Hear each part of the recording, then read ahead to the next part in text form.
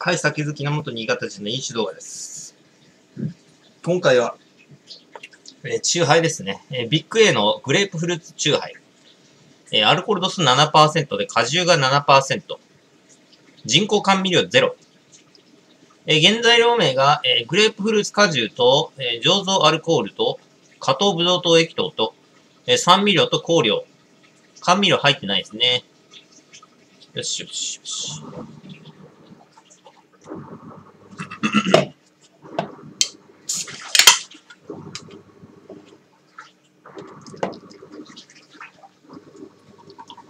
あれ？これ？うわ。賞味期限が今年の4月。ギリギリですね。一応。一応ギリギリ。いまいちわかんないんだけどさ、今、4月下旬じゃないですか。で、ここに、あのー、今年の4月って書いてあるんだけど、これは4月中は大丈夫なのか、もしくは、4月になった時点でアウトなのか、それがわかんないですね。乾杯。多分4月中は大丈夫だと思うんだよね。この予想で。予想ですけど。うん。ちょっと、なんか、ほのかな、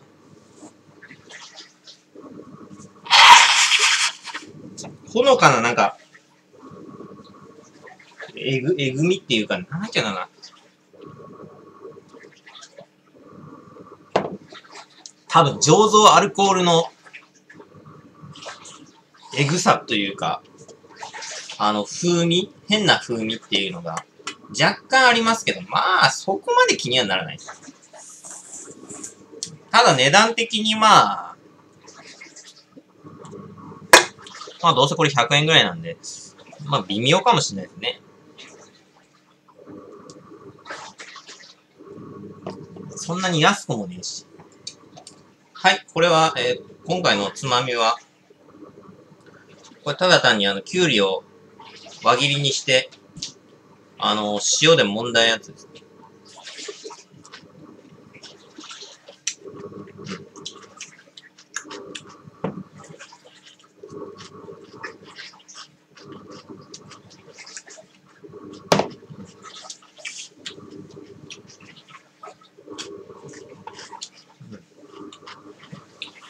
あ、しょっぱ。きゅうりってたまにさ、あの、これはあの、4本で100円で売ってたんですけど、あの、ローソンストア100でね。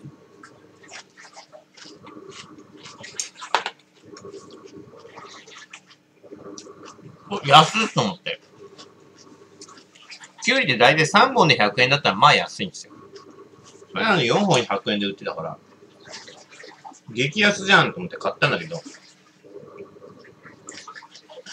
あの、たまに、あの、やけにでかいキュウリがある、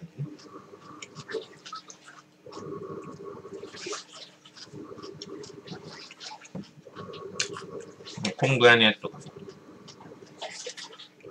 わかりづらいか。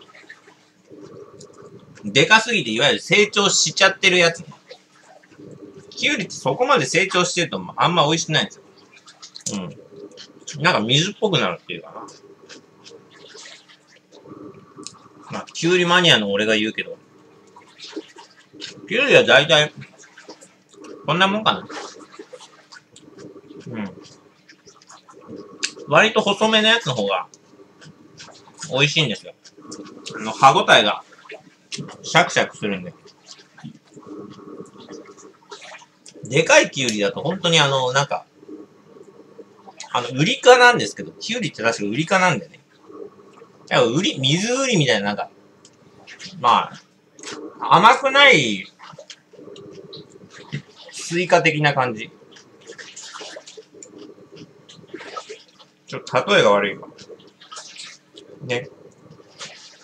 あの、メロン、甘くないメロンみたいな感じになるんですよね。成長しちゃうと。だから、できれば、きゅうりは、あんまり細いやつで、細いやつでいい。で、それでいて、あの、トゲトゲがあるじゃないですか。あれがトゲトゲがある鋭い方がいいんだよね。こうやってさ、水でこう洗うじゃん。洗った時にトゲがちょっと痛えなって思うぐらいのやつがいいんだけど、これ全部4本とも別に大してトゲも痛くねえなと思って、結構だいぶ成長してるやつだった。まあ、まあいいんだけど。うん。まあ、所詮、4本100円かと。うん。成長するとやっぱ水っぽくなるね。うん。きゅうりは。でかいと。で、成長してない、いや、成長してないっていうか、細いやつは、身がしっかりしてる。で、シャクシャク感が強いですね。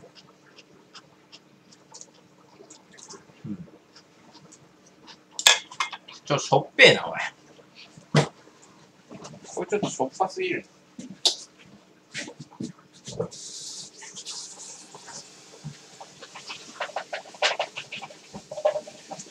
これちょっと、これちょっと塩分取りすぎだ。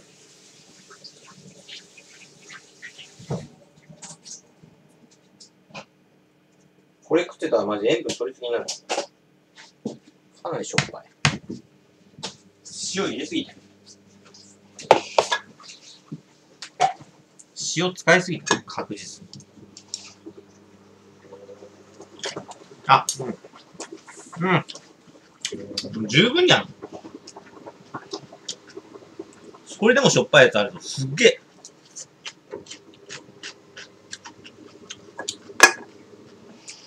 アホみたいにしょっぱいのある。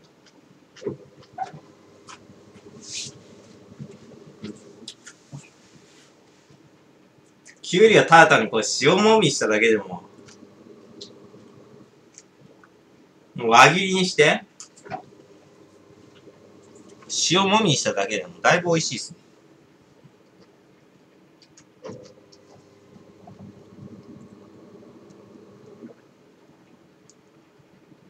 まあ、きゅうりは、一番栄養がない野菜らしいですね。で、あんまり、栄養価がないのが残念ですね。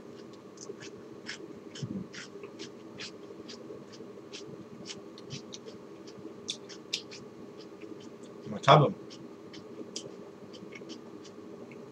栄養価があれば、もっと売れるんだろう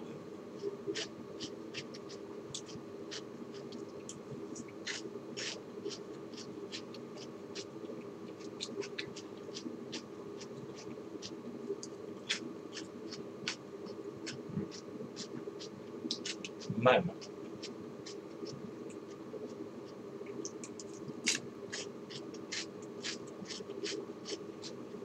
まあ普通にきゅうりはあの、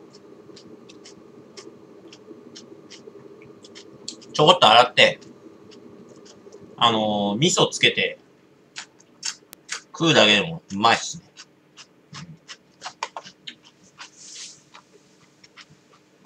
まだしょっぱい。まだしょっぱい、これ。なんだこれ。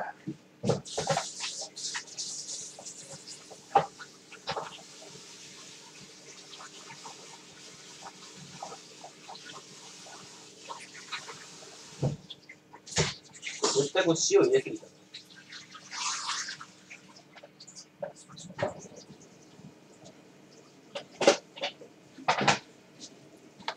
あの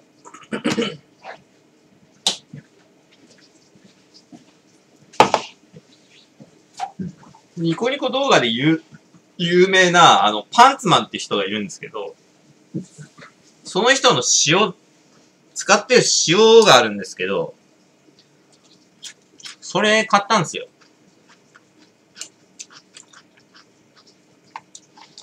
500g ぐらい入ってて、こう、あの、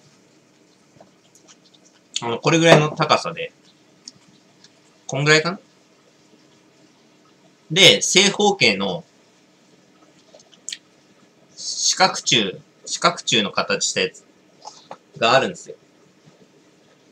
それが普通に安いんだよね。500円、えー、500グラムぐらい入ってて、いくらやんな ?200 円ぐらい。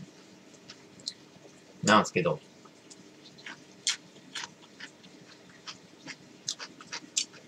あれ、500グラムだったっけ？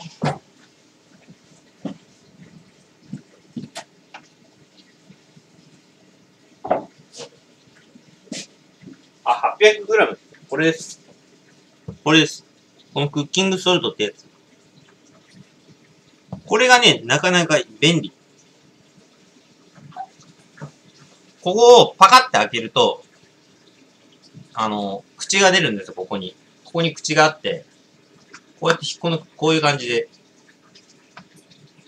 出るんです。で、だから、安いから結構ガンガン使えるし、あの、袋のやつの1キロで100円とかで売ってる、あの、塩に比べて、確かに若干高いんだけど、ぶっちゃけあれ袋、だから詰めなきゃいけないね。めんどくさいでしょ。うん。そう考えるとこれ 800g 入ってて、あの、使いやすい。たっぷり使えるっていうか、こうガーって、あの、塩、もみするときにギャーって入れて、すぐ簡単にグワーって入れられるんです量、量をね。あの、普通の塩の食卓園とかで、ささささささってやってると、あの、かったるいじゃないですか。かなり量出るんですよ、これ。かなりの量、ブワーって出るんで、これ。結構。一気にブワーって出して、塩もみとかするときに、これ便利。あの、まあ、見かけたか、あの、見てみてください。これね。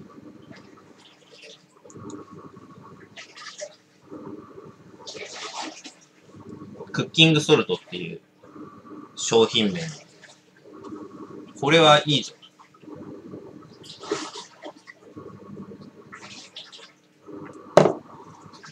これはいいぞ、マジで。どちらかっていうと、食卓、まあ、クッキングソルトだから、まあ、うん。うん。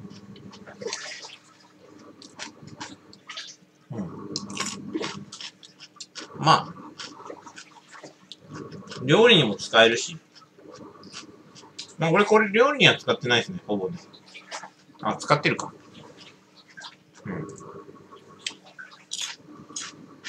まあ、塩は確かに安いんだけど、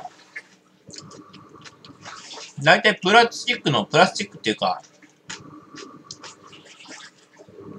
ビニール袋に入ってるでしょ。1キロ100円とかで。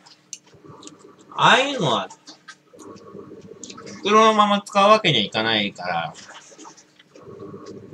どうしても、どっかに詰め替えないといけないんですよね。ちっちゃい小型容器みたいな。でもこれだと、うん、あの、小型食卓園みたいなやつよか、あの、ちまちま出す。っていうよりは、がっつり出す。がっつりここでかさっき言ったように出るんで、がっつりこうかけて、で、塩もみしたい時とかは、だいたい結構がっつりかけるじゃないですか。特にこれ、きゅうりこれ4本使ってるんですけど、4本とかいっぺんにこれ塩もみするときに、がっつり塩出したいときは、まあ便利ですね。これは。値段もこれで200円しないぐらい。まだこれ半分以上残ってる。マジ、なかなか塩ってそんなに使わないじゃないですか。まあ確かに1キロの、あの、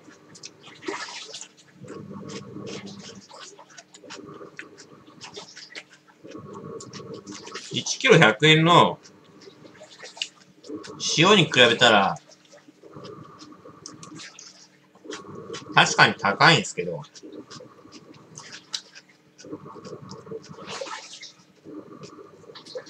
あの、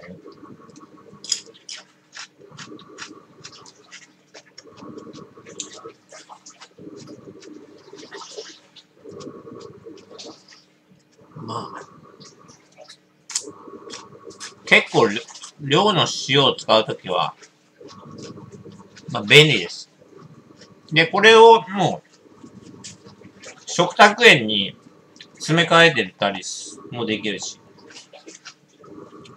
食卓園がなくなったらこれをビャーって入れれば、すぐ、ビャーってやるし。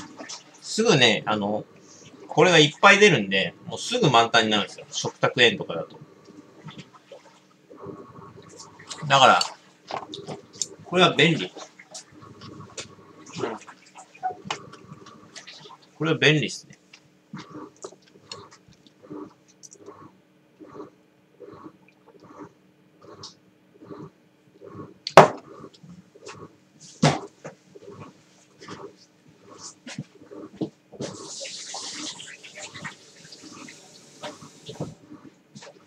まあ、肝心の、肝心のそのグレープフルーツ味は、ぶっちゃけ大して美味しくないんで、これ買わない方がいいでしょ。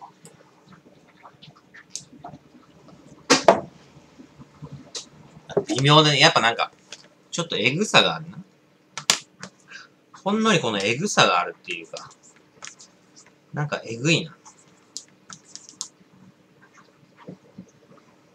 ちょっとエグいんで、これは、買うのは、よろ、や、やめといた方がいいですね。